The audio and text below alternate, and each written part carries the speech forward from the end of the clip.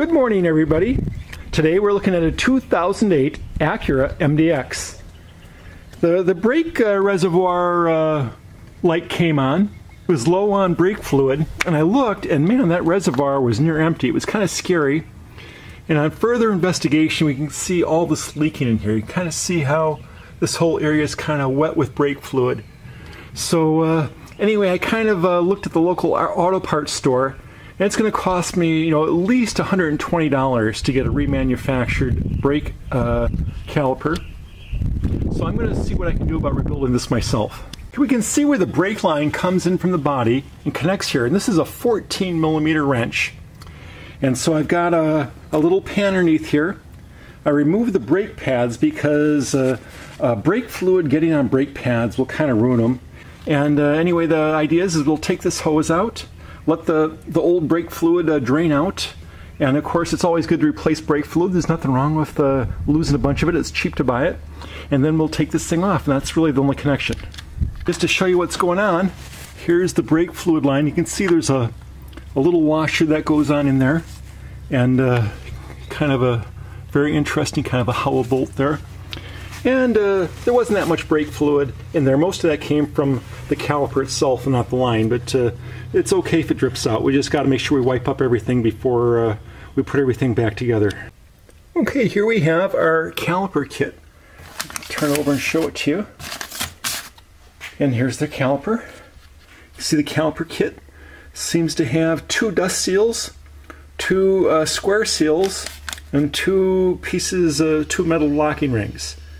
And let's figure out how to do this now. Okay, well, uh, step one is we got to remove uh, the pistons, the caliper pistons here. And uh, you can see I've uh, put a couple pieces of wood in here to limit the travel of the pistons so they uh, don't go flying out or damage anything. And then uh, the hole here that we had the, the brake line hooked up is right there. And I've got some compressed air.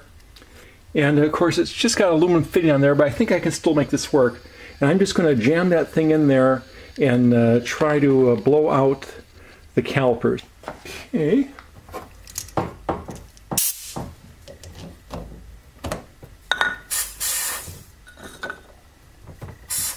Oh, look at that.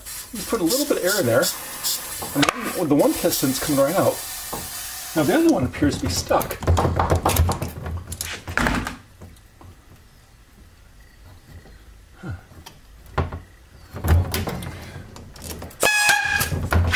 Well, there goes. That, that worked. Okay, that's all it took. Here's the piston.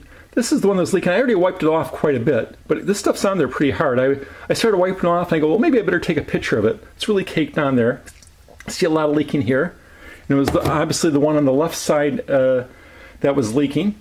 Anyway, we're going to take off the old seals, make sure everything looks nice and clean. I mean, luckily, these pistons look beautiful. So I don't see any problems with these. I was kind of worried that I need to buy new pistons to really do this job right. But they look pretty good. Anyway, we'll get everything all cleaned off, replace, take off all the old seals, put new seals in there, put the pistons back on, and then we're done. We took out the old seals, and after I took the seal out, there's a ring in there, so you can see how the metal ring is inside here. I've had a little time to practice with this. Let me tell you what I did here's the old parts, and I've been playing around with the old parts, and I just wanted to make sure that I was really, really good at assembling this thing and I had it in the right order. So let me tell you what the right order would be. Uh, when you're, uh, everything's all nice and clean, uh, I, I, uh, I got all wiped out, all the dirt's out of there. I'm really happy with how clean everything is now. And then we take the square seal and we put it in. And then we take the, the rubber boot and we put it on the end of the, the caliper as I have shown here. Now we have the, uh, the boot on the caliper, we slide it down, and then we put it in here, and then we have to insert it in the ridge. And, and I found a rotating helps. It's not all the way in there. Okay, there we go. So now you can kind of see it's in the ridge. And then we have the snap ring that goes in like that. Oops. There it goes. It snapped in. So now it's all done. Of course, uh, uh, since I'm doing this for practice, I didn't have the, the rubber square seal in there because it would have been very, very tough to get out.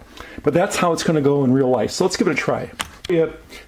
Uh, once this thing's in here, you put the snap ring in, you can kind of see there's a little edge that catches. So this snap ring holds the, uh, the seal in tight. So anyway, that's a, a very tricky step, but it seems to, the way the tolerances are machined here, it seems to go right in if you, if you just snap it in. So uh, uh, here we are.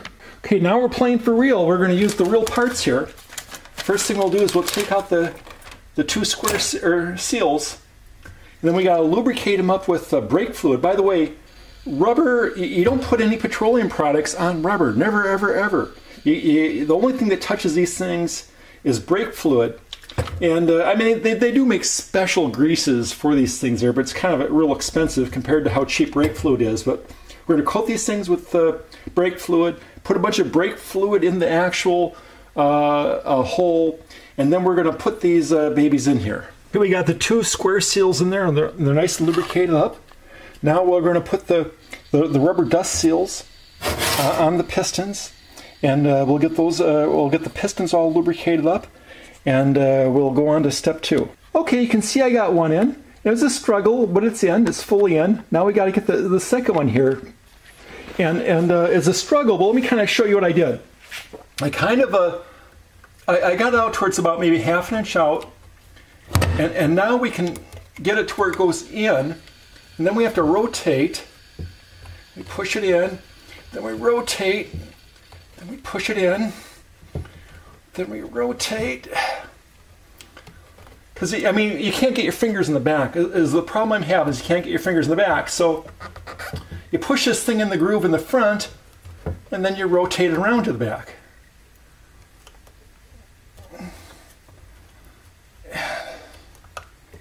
Come on, Get on in there, it's almost in. Okay, that's in. Still a little bit more. Last section. Oh, it's, okay. Oh, okay, well, okay, it's in there. Let's rotate it around, make sure everything's fully seated. Okay, well, then it's in there. Now we just put in the, the snap ring and we're all done. in. Okay, it's I can feel it in the groove. Okay, good. And it's almost all the way in the groove. Now I just got to get this front part in. Okay, that snapped in. Okay, oh. there goes that snapped in. Now everything's all set. You just have to push this baby in. Maybe you'd have to use a C-clamp, but I was able to push in with my fingers. Okay, we reattached the brake line to the caliper the 14 millimeter ratchet and made sure it was real tight. You know, it's certainly just as tight as it would have been to take it off. You know, you know, very tight. But of course, it is a hollow bolt. You can snap it off if you go crazy. But I mean, real, still very tight. Clean everything off. Make sure there's no brake fluid anywhere. You know, because there was dripping brake fluid, and brake fluid's bad stuff when it comes to brake pads. So uh, you know, I use a whole bunch of paper towels and uh, get everything nice and clean. Okay, the caliper is reattached and now we got to bleed the brakes because there's air in the lines and we got to bleed the brakes. So you can see the bleeder screw here. We take off this rubber uh, dust cap and keep it in a safe place. And then we're going to take a, a 10 millimeter wrench and use that for the bleeding. And there's a lot of different ways for bleeding brakes. I like the two person approach. So the way it works is okay, there's air. You, you, you uh, pump up the pedal very carefully, but make sure you don't go all the way down to the end and press because you can actually damage your master cylinder.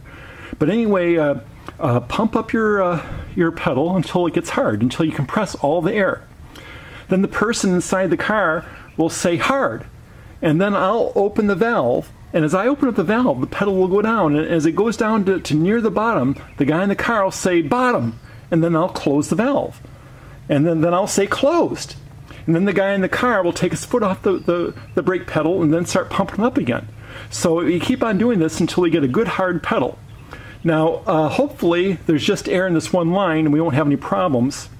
If you if you read a service manual on doing brake bleeding, they suggest you always uh, bleed the longest line first. But you know, I've never really had to do that.